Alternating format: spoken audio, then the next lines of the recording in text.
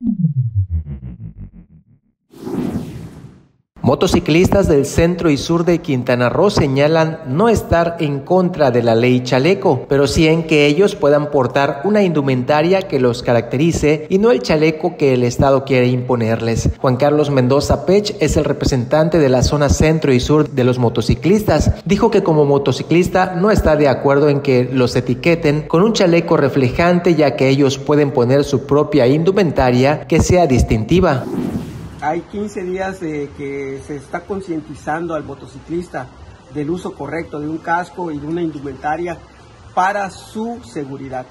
Todavía no puede aplicarse el artículo 218 bis porque no por tanto la cuestión de la suspensión del amparo, sino porque no se han homologado los reglamentos de tránsito estatal y municipal y tampoco se ha definido el programa por medio del cual supuestamente se van a suministrar los chalecos y los engomados a los motociclistas.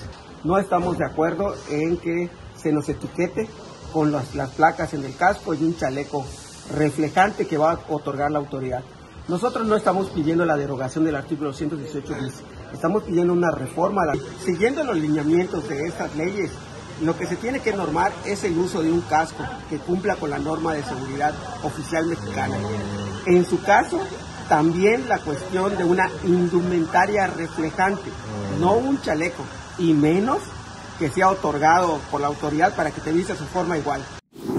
Añadió que están de acuerdo 100% en combatir la inseguridad que se sube a estos vehículos de dos ruedas y afecta sobremanera a la población. La delincuencia debe de ser combatida, pero no con estas formas, sino con la aportación de ideas de todos los sectores del sur, centro y norte de la entidad. Los motociclistas están a la espera de las próximas reuniones con las autoridades estatales para ir definiendo los últimos puntos sobre esta ley denominada chaleco.